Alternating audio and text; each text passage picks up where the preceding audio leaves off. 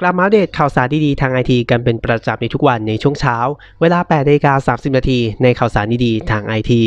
และช่องของเราได้มีการอัปเดตข่าวในช่วงเย็นด้วยในทุกๆวัน ในอีกช่องหนึ่งนะครับมาสกอปไอทีบายโปป๊อปในช่วงของพูดข่าวไอทีสามารถเข้าไปติดตามกด Subscribe กันได้แล้วนะครับ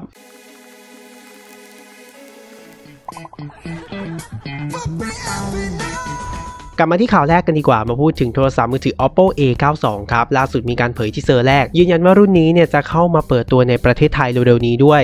มาพร้อมกับกล้องหลัง 4 ตัวครับ จุดเด่นของเขาความละเอียด 48 ล้านพิกเซล แบตเตอรี่ที่อึดถึง 5,000มิลลิแอมป์มาพร้อมกับชิปเซ็ต Snapdragon 665 มาดูรายละเอียดเพิ่มเติมกันครับหลังจากที่มีการเปิดตัวในต่างประเทศนะครับโทรศัพท์มือถือ Oppo A92 ได้ผ่านการรับรองจากหน่วยงาน กสทช มาพักใหญ่แล้วสำหรับรุ่นนี้นะครับล่าสุดทาง Oppo ประเทศไทยได้มีการปล่อย teaser ยืนยันแล้วว่ารุ่นนี้เนี่ยจะเปิดตัวอย่างเป็นทางการในประเทศไทยโดยเร็วแน่นอนสำหรับ Oppo A92 มาพร้อมกับดีไซน์หน้าจอเจาะรูวางกล้องหน้าไว้บนหน้าจอครับฟ้าหลังไล่เสียดสีสวยงาม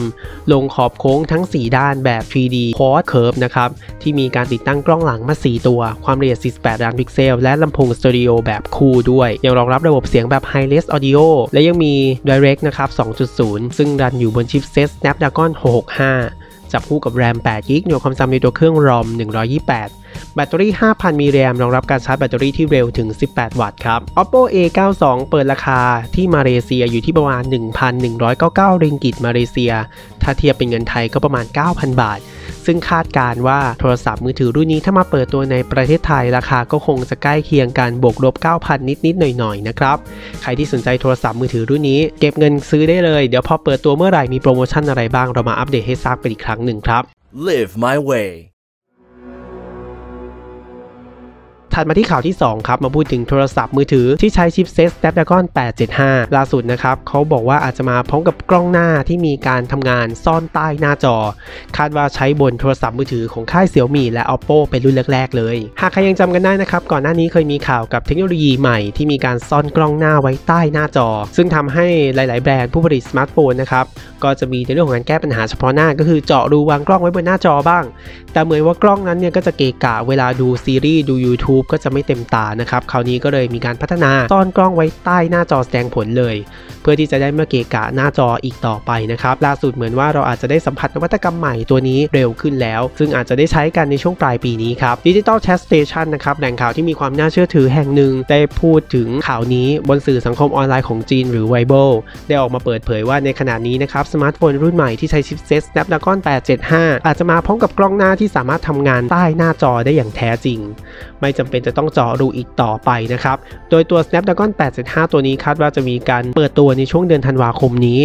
โดยพร้อมกับโครงสร้าง CPU แบบใหม่ครับ ที่เรียกว่า Cortex X1 แล้วก็ Cortex A78 ส่งผลให้ความแรงในการประมวลผลเนี่ยเร็วขึ้นเมื่อเทียบเท่ากับ Snapdragon 865 เบื้องต้นนะครับคาดการณ์ว่าเทคโนโลยีกล้องหน้าฝั่งใต้หน้าจอเนี่ยจะเป็นการนำมาใช้บนโทรศัพท์มือถือของแบรนด์ Oppo และ Xiaomi ก่อนเป็นอันดับแรก ๆ เนื่องจากว่าก่อนหน้านี้ทั้ง 2 แบรนด์นะครับได้มีการเผยถึงสมาร์ทโฟนต้นแบบที่มีการใช้เทคโนโลยีนี้มาบ้างแล้วด้วย และจะเปิดตัวออกมาในช่วงเวลาไหน หรือเอามาใช้จริงหรือเปล่าไว้เรามาอัปเดตให้ทราบกันอีกครั้งหนึ่งนะครับ